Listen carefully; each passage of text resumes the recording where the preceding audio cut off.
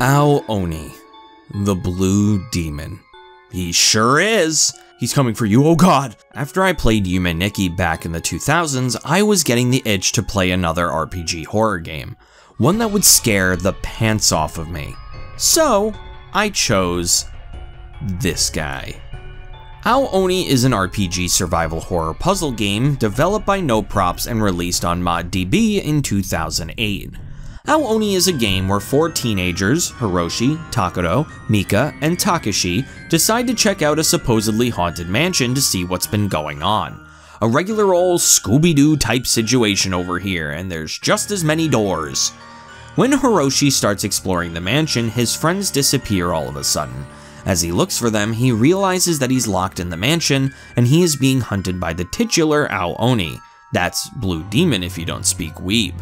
The rest of the game consists of solving puzzles, running away from the Oni, opening doors, running away from the Oni, finding your friends, running away from the Oni, watching your friends die and turn into the Oni, running away from your friends until eventually you find the key that leads to your escape, only to be shown that another group of people end up in the mansion, starting the cycle anew.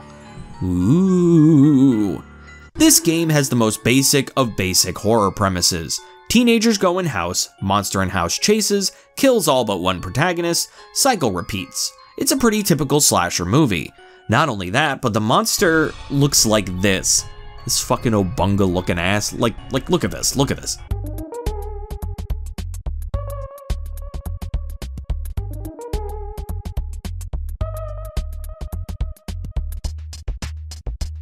With the most basic, unoriginal premise and creature that looks like it's going to be a deep fried internet meme next year, how did this game become the worldwide critically acclaimed game it became? Going into this game for this video, I really didn't expect this game to age well. I remembered the goofy face, the very quiet, stoic nature of the game, and just expected, oh, I was scared of this game when I was 12. There's no way the scares will get me now, as a jaded 27 year old in 2023. I'm shocked to say that no, I was completely wrong. This game isn't without its goofiness, but honestly, I think it knows it looks goofy but doesn't care. There's one point in the game where you walk into a room called the Oni Room. This room shows all of the different types of Onis this mansion has, and the buff one is literally just lifting invisible weights.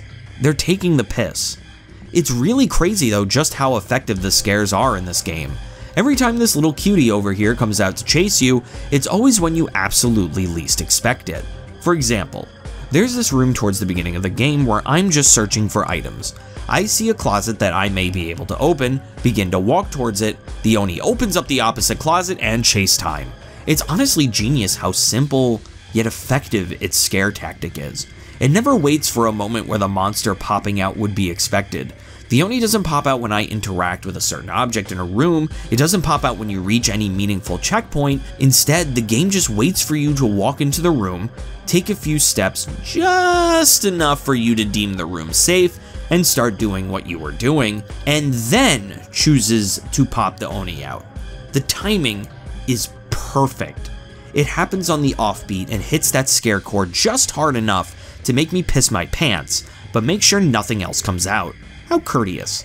There's another scare I want to highlight that I don't really want to say scared me, because the twist was predictable as hell, but for a 2008 game, this was creative as hell. At the very, very, very end of the game, you are in the mansion's basement, where you must collect three blue pieces to place in a picture frame at the end in order to unlock the final door.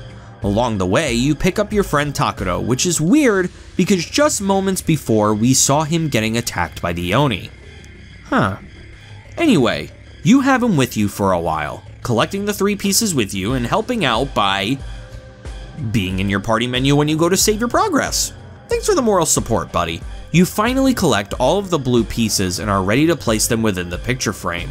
You press the menu button to go into your inventory and what? Takuro in your party menu is now an Oni. When you leave the menu, it initiates a chase scene. It was super predictable at this point that Takuro was actually an Oni, but god damn if that isn't a creative way to essentially initiate the final boss fight of the game. I love these fourth wall breaking scares in horror games like this, and it's super interesting to see, even when indie horror was in its infant stages, that games like this one were trying to push the envelope. That's usually where I would end the video, but I want to take a second to really talk about how crazy the legacy of this game is. When it comes to indie horror franchises that got so famous that it broke out into so many other mediums like books and movies, the one you would probably name is Five Nights at Freddy's. Five Nights at Freddy's started out as an indie horror series created by one man, Scott Cawthon, in 2014. In 2023, Five Nights at Freddy's is now 14, soon to be 15 games, 23 books, and an upcoming movie. Honestly, for an indie game franchise to explode like this is mind-blowing. Well, Ao Oni did it years before Five Nights at Freddy's did. Ao Oni has five novels that came out over the span of 2013 to 2017, six junior novels, a live action movie in 2014, an anime series in 2016, and an anime movie in 2017. For such a simple indie horror game, that's insane. So why does Five Nights at Freddy's get all of the notoriety for being the indie game that succeeded, but Ao Oni barely gets any press? I believe there are two contributing factors to this.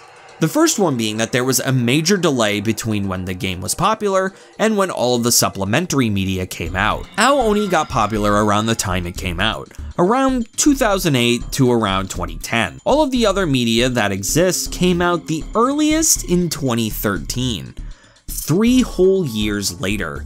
By that time, the world was focusing on Slender as being the next big horror game. Ao Oni was just a footnote in people's minds at this point.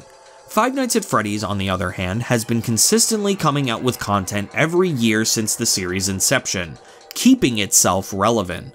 The second factor that I believe contributed to this is the fact that even though Ao Oni was popular worldwide at one point, it was definitely more popular in Japan. The game first saw its rise in popularity on Nico Nico Doga, a website that is essentially just Japanese YouTube.